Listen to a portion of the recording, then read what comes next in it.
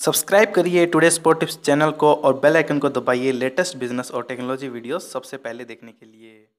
नमस्कार दोस्तों, मैं कुलवंत और आप सभी का स्वागत है आपके अपने चैनल टुडे स्पॉट टिप्स पे। दोस्तों बात करने जा रहे हैं कि एयरक्राफ्ट मेंटेनेंस इंजीनियर आप कैसे बन सकते हैं, कैसे अपने कैरियर को ऊंचाइयों तक लेके जा सकते हैं। आज इस वीडियो के अंदर पूरी जानकारी देने जा रहे हैं। तो लास्ट तक वीडियो को देखिएगा ताकि आपको पूरी जानकारी अच्छे से समझ में आ जाए, जिसके बाद क्या है कि आप अपने कैरियर का चुनाव अच्छे से कर पाए। तो चलिए दोस्तों, जान लेते हैं कि एयरक्राफ्ट मेंटेनेंस इंजीनियर आप कैसे बन सकते हैं। तो बताना चाहूँगा, जो एयरक्राफ्ट मेंटेनेंस इंजीनियर होता है, जो एविएशन जो इंडस्ट्री है, इससे ही जुड़ा हुआ सेक्टर होता है। और अगर आप क्या है कि एयरक्राफ्ट मेंटेनेंस इंजीनियर आप बनना चाहते हैं। तो दोस्तों, इसके लिए क्या है कि आपका बारहवीं से पीसीएम सब्जेक्ट के साथ पास होना ज़रूरी है। इसके बाद आप क्या है कि एयरक्राफ्ट मेंटेनेंस इंजीनियरिंग के अंदर तीन साल का डिप्लोमा जो कोर्स होता है, वो आप कर सकते हैं। तो बताना चाहूँगी आज के टाइम के अंदर ना, इस सेक्टर के अंदर ना, करियर के काफ़ी सारे ऑप्शन है ना, निकल के आए हैं। दिन प्रतिदिन है ना, इस सेक्टर के अंदर है ना ग्रोथ है ना, बढ़ती ही जा रही है। ऐसे में क्या है कि काफ़ी सारी जॉब भी आज सामने निकल के आई हैं और आगे भी, आने वाले टाइम के अंदर भी काफ़ी सारे ऑप्शन आपके लिए अवेलेबल होंगे, यानी दोस्तों निकल के आएँगे। नहीं दोस्तों, अगर आप इसके अंदर करियर बनाना चाहते हैं तो बिल्कुल सही टाइम है, आप आराम से इसके अंदर करियर जो है, अपना बना सकते हैं। वही दोस्तों, बात करें कि एयरक्राफ्ट मेंटेनेंस इंजीनियरिंग में आखिरकार होता क्या क्या है? तो दोस्तों, बताना चाहूँगा एयरक्राफ्ट मेंटेनेंस इंजीनियरिंग में क्या है कि aircraft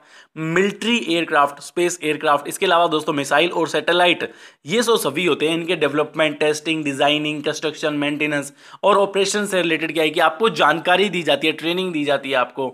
इसके अलावा दोस्तों, आपको बताना चाहूँगा कि एयरक्राफ्ट मेंटेनेंस और इंजीनियरिंग है। इसमें क्या है कि एयरक्राफ्ट मैन्युफैक्चरिंग रिपेयरिंग से रिलेटेड जो भी काम होते हैं, वो आपको सिखाए जाते हैं। या फिर दोस्तों, इससे क्या है कि सीखने के बाद क्या है कि आप रिपेयरिंग और मैन्युफैक्चरिंग से रिलेटेड काम कर भी सकते हैं।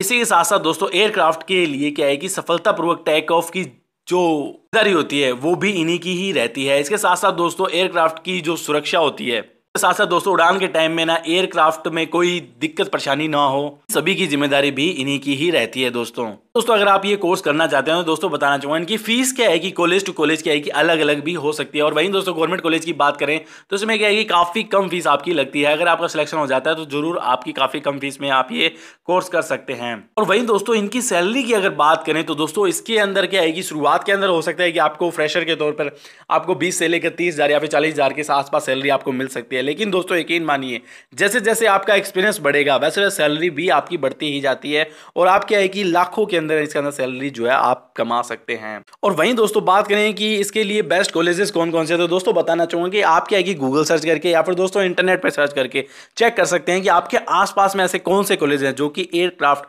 जो इंजीनियरिंग है, वो कोर्स करवाते हैं। तो दोस्तों, आपको क्या है कि आसपास में जो भी कॉलेज होंगे, वो आपको पता चल जाएँगे और वहाँ पर कॉलेज में जाकर आप विज़िट कर सकते हैं और वहाँ पर पूरी जानकारी आप ले सकते हैं।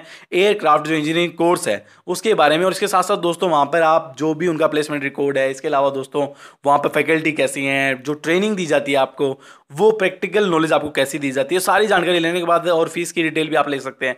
पूरी जानकारी आपको अगर अच्छी लगती है उनकी तो दोस्तों वहाँ पर क्या है कि एडमिशन आप ले सकते हैं और एडमिशन लेकर क्या है कि अपने कैरियर को आगे इसके अंदर बढ़ा सकते हैं और अपने कैरियर को ऊंचाइयों तक लेके जा सकते हैं। लेकिन दोस्तों आपका इंटरेस्ट होना इसके अंदर काफ़ी ज़्यादा ज़रूरी होता है। तो दोस्तों उम्मीद करता हूँ कि आपको ये वीडियो पसंद आई वीडियो को लाइक करें शेयर करें हो सके तो चैनल सब्सक्राइब करना ना भूलें, क्योंकि हम आपके सामने ऐसी वीडियो लेकर आते रहते हैं। मिलते हैं आपको अगली वीडियो के अंदर, तब तक के लिए दोस्तों, जय हिंद, वंदे मातरम।